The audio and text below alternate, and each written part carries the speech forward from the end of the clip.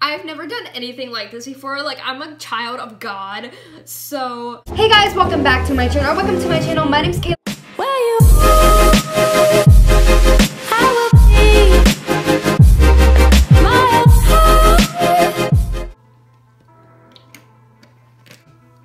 My tongue's red as fuck.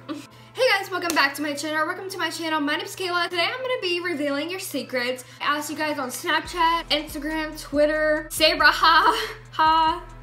And you guys sent me your secrets. Um, only 12 of you did. I wish I got more secrets because this video might be short as fuck. Sorry if it is, but yeah, I asked you guys to send me your dirtiest, cringiest, grossest secrets. They're going to be anonymous, obviously. This video idea is from A-Dubs and I'll link her channel down below, but I do have a part one of this, so I'll link that down below as well so you guys can go watch part one. I did get more secrets on that video, so definitely go check that out. I just think this video is a really fun idea and it's different, so yeah, let's just get started with the video. So yeah, like I said, I don't have a lot of secrets, but it'll do. Thanks to everyone who did send me your secrets. So the first one is, this is for YouTube. I used to have the biggest crush on my adopted cousin, and I still think he's cute or whatever, but whenever I see him at family reunions, it's really awkward.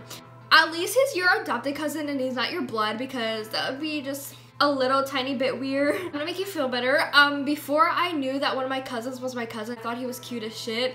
I didn't know he was my cousin. My parents say he's not my cousin, but technically he is. I don't know. I don't think he's cute anymore, but when I was younger, I did. So I feel you on that one. And I just remembered I literally haven't been to a family reunion in years, since I was like 10. I was at a party and I walked in on my best friend fucking one of her dad's, one of her friend's dads. Okay, this would be much better if it wasn't her friend's dad, or maybe just a little bit better because I'm guessing he's pretty old, or not old, but like older than she is because he's a dad. But that's a little whack. I hope all is well with them. So this is from my boyfriend's mom. My son puked in my mouth when he was little. You might know him, haha. so she's not talking about my boyfriend. She's talking about my boyfriend's brother. That's so gross. Why did he puke in your mouth and not like away from you? That is so gross.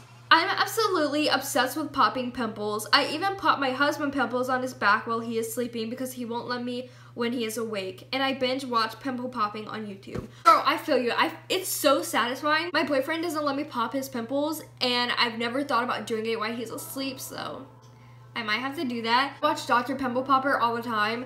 Some things I can't watch because it's like super freaking gross, but sometimes it's like satisfying as shit. I thought I was the only one, but that actually makes me so happy that you actually do that. But I'm surprised he doesn't wake up when he sleeps. I will have to try that on my boyfriend and hopefully he doesn't wake up because he'll be pissed as fuck. The girl I've been trying to get with doesn't want a boyfriend, but she used to like me and honestly it's tearing me apart. This makes me sad, but maybe she just doesn't want a boyfriend right now and if it's meant to be, It's meant to be, it'll be. Baby, just let it be. Um, if it's meant to be, then it'll happen. Love takes time. You just gotta wait and see what happens from there. Hope everything works out for you and she ends up wanting you as her boyfriend.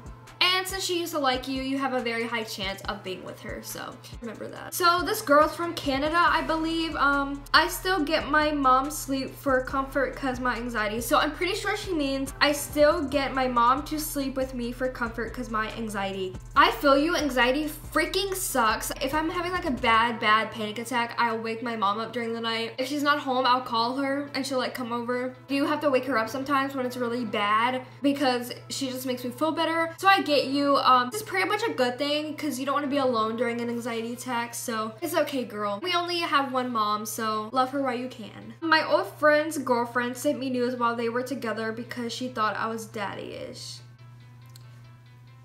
That's so dirty. Um, I hope you didn't send them back because that would be kind of awful to your friend, but I hope your friend doesn't know about this.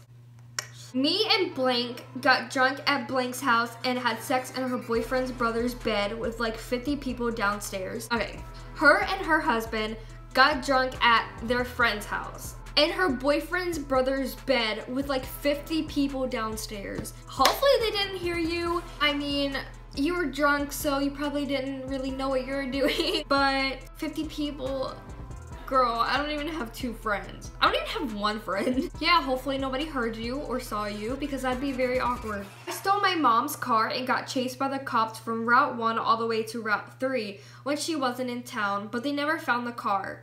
We had to change the license plate and all. Never done anything like this before. Like, I'm a child of God. I'm surprised the cops didn't, like, actually get to you. Like, they chase you, but they never got to you. Um, it's good that you changed the license plate. That is a very smart idea. But your mom's car... Does your mom know about this? Probably not.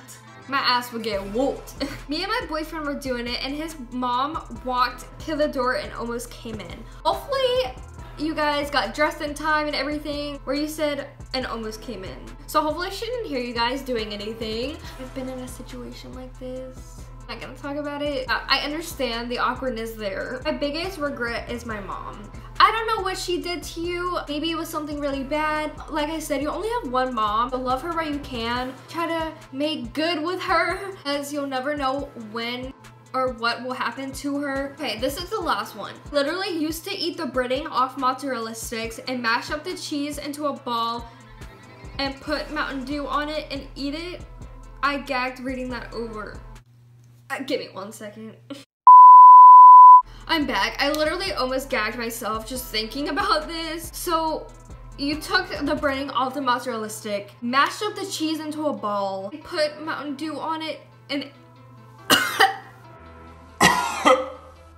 ate it. This is probably the best secret of them all. That is, I'm not here to judge, okay? I'm sure I've done something gross like that in my past. Maybe not that gross, but maybe. Hey guys, that is the end of my video. If you'd like to give it a thumbs up, leave your comments below. Subscribe. I do plan on doing a part three because I love these kind of videos. So make sure next time you guys send me your grossest, dirtiest, cringiest, secrets because I will be able to make a longer video. And everyone wanted to see this video, so I'm surprised that no one really sent me your secrets. But if you did send me a secret, thank you so much because you allowed me to film this video. We all have shit that we regretted or wish we didn't see or hear. You're not alone. Stay happy. Bye, guys. I'm gonna be rating Netflix shows and telling you guys what all these shows are about, if you should watch them or not, and waste your time.